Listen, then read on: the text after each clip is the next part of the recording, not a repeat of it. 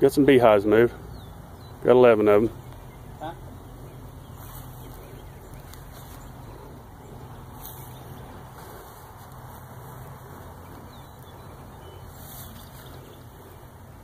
Ready to go.